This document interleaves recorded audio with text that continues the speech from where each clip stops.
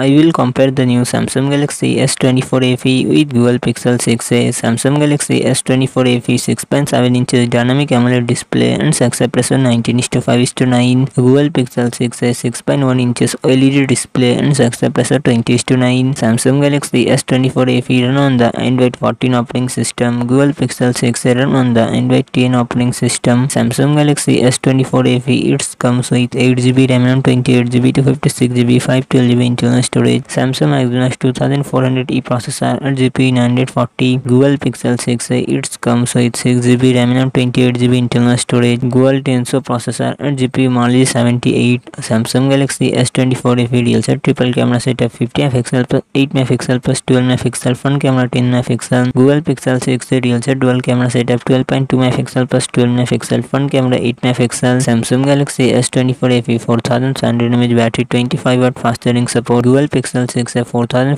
hundred ten M H battery eighty not fast support